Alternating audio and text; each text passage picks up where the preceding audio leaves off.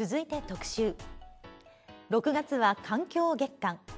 これは1972年6月5日にストックホルムで開催された国連人間環境会議を記念して定められたものです。越谷市では環境への負荷の少ない持続可能な循環型社会を構築するため越谷市環境条例越谷市環境管理計画をもとにさまざまな施策を行っています。そこで今回は環境に配慮した市や市民の方の取り組みについて水木レポーターが紹介します。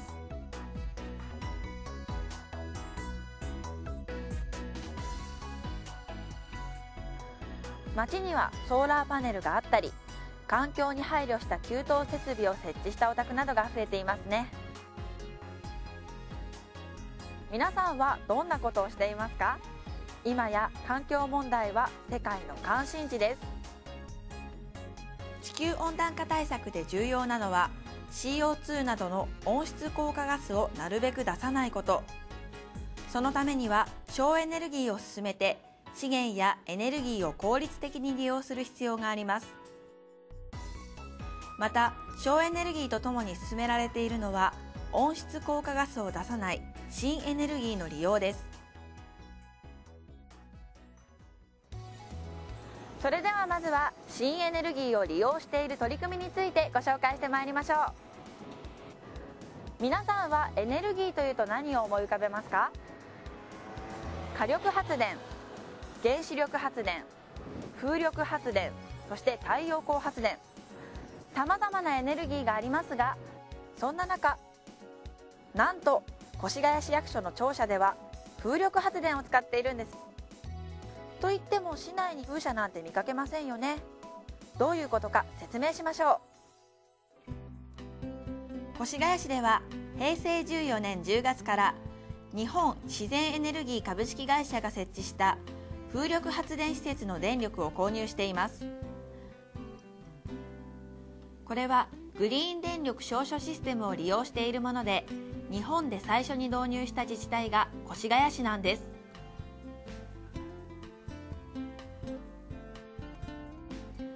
このシステムは自然エネルギーによって発電された電気の付加価値をグリーン電力証書という形で取引する仕組みです。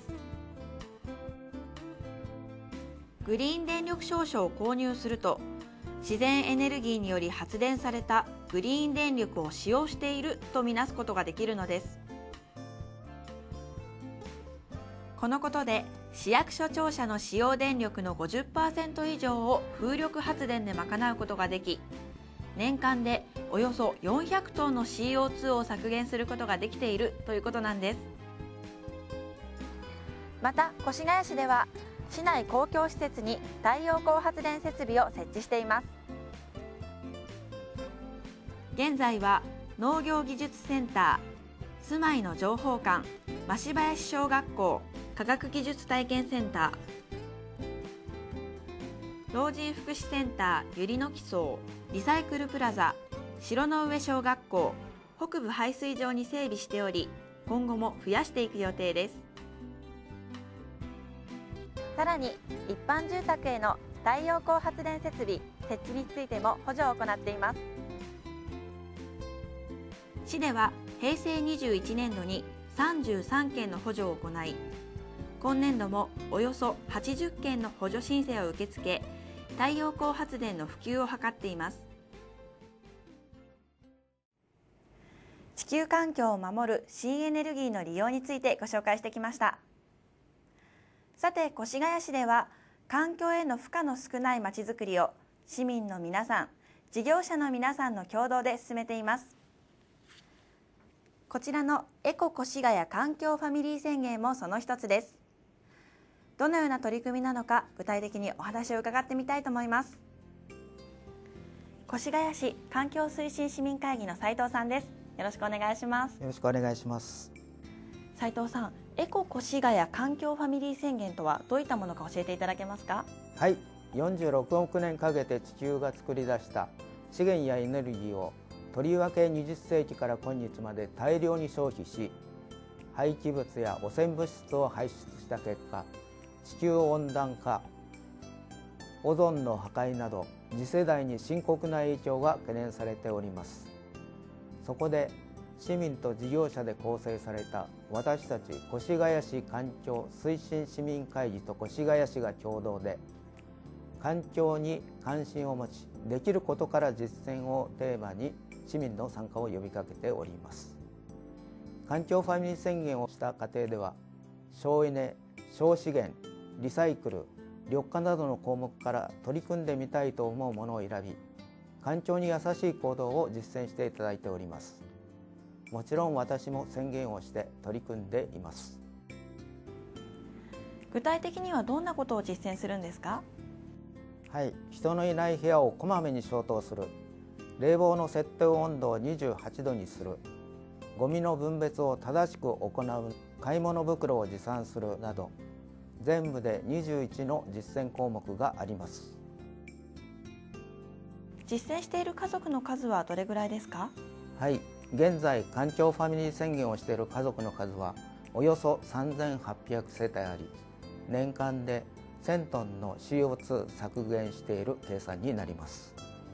参加している家族の方の反応はいかがでしょうか？はい。参加した家族からは家族で環境問題について話し合う機会が増えた。毎日の生活が気持ちよくなった。家計にもプラスになったなどの感想が寄せられています。環境に優しいことを実践すると家庭での会話が増えたり家計が助かったりともういいことがたくさんありますね。はい。この環境ファミリー宣言は越谷市の環境だけでなく地球環境に優しい取り組みとなりますのでもっともっと多くのファミリーのご参加をいただきエコーライフに取り組んでいただきたいと思います。他に事業所向けにエコー越谷推進事業所宣言がございます。よろしくお願いいたします。斉藤さん今日はありがとうございました。どうもありがとうございました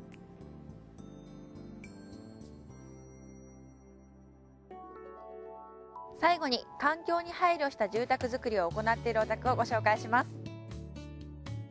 第4回越谷環境賞で我が家の環境賞を受賞した金子さんのお宅です。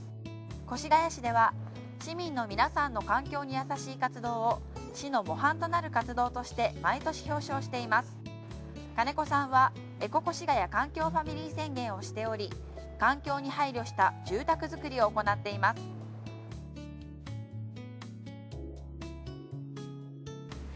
金子さんにお話を伺います。金子さんよろしくお願いします。お願いします。環境に配慮した取り組みが認められて環境賞を受賞したそうですね、はい、ちょうどこのうちを建てましたのがあの5年ほど前なんですけれどもちょうどその頃あのニュースとかなんかで非常にあの北極の氷がどんどん溶けるとかですね北極熊もうその生活が大変であるとかヒマラヤの雪がどんどん溶けるとか。それから南の方ではあのスバルの陸地がどんどん侵食されるとか、まあ、そんなことがありましたんでじゃあ自分でも何かできることあるだろうかと思って、まあ、あの環境を排除した家にしたつもりなんです。具体的にはどういったことをされたんですか？えこれ家を建てる時に、えー、電気だけでいわゆるオール電化の家を建てたいっていうのも一つの夢だったので、電化の家にしてあります。お風呂とかキッチンですね。全部それを、あの電気で分かるようにしてあります。エコキュートあのお湯をですね少ない電力で沸かすことができる装置です。この屋根の上にあの4キロの光を集めるパネルがついてまして月によっては東京電力のお湯ってお金の方が多くなるということもありますだいたい今までだいたい2万円から3万円ぐらいで使ってたんですが今1万円を超えるのは真冬の時ぐらいであとはほとんど1万円以下で、えー、ですから相当なその電力の安く使えると思います何か他に環境に配慮した活動というのは行っているんですか、えー、リサイクラーいわゆる生ゴミ処理機なんです、はい、生ゴミで出さないでですねリサイクラーをかけて、え乾燥してカラカラになった状態でできますので家庭菜園であの野菜を作っておりますのでそのカラカラになったものにぬかを入れて多少あの熟成させるとですね非常にいい肥料ができるんです。お庭とかもねすごくたくさんお花があって綺麗なんですけれどもお水をあげるのも大変じゃないですか？そうですね。特に夏になりますと水を相当水道の水を使ってたもんですから、えー、薄い量のタンクをですねどうしてもつけたいと思ってたんです。ですから今はそんなにそのそちらの方のタンクの水で この植木に水をやることができます。そういえば先ほどあちらでハイブリとかを見かけたんですけれどもどうしても車を運転するということは環境に良くないということで、まあ、せめて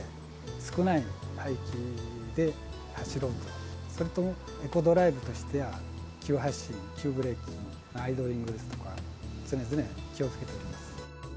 このような環境に配慮をした活動をされてみていかがですか？あのやっぱり環境に配慮するということはこれでいいということはないと思うんです。ですからあの私も環境省を受賞いたしましたしますますですねいろんな面で、えー、環境に配慮した生活なり心構えを持って、えー、取り組んでいきたいと思っております。これからもぜひこの活動を続けてください。私も今日は本当に勉強になりました。今日はありがとうございました。ありがとうございました。金子さんの取り組み素晴らしかったですね。一度にたくさんのことは無理かもしれませんが私たちも金子さんの取り組みをヒントにできることから環境に優しい暮らしをしていきたいですね。水木さんありがとうございました。特集でご紹介したエコ越谷環境ファミリー宣言。この取り組みに参加してくださる家族を募集しています。環境に関心のある市民の方ならどなたでも登録できます。登録申請受付は環境保全課。登録された方には登録証を交付しますまた市では雨水貯留施設の設置に対する助成や家庭用生ごみ処理機器の設置に対する補助も行っていますのでぜひご利用ください環境への取り組みについてのお問い合わせは環境保全課まで。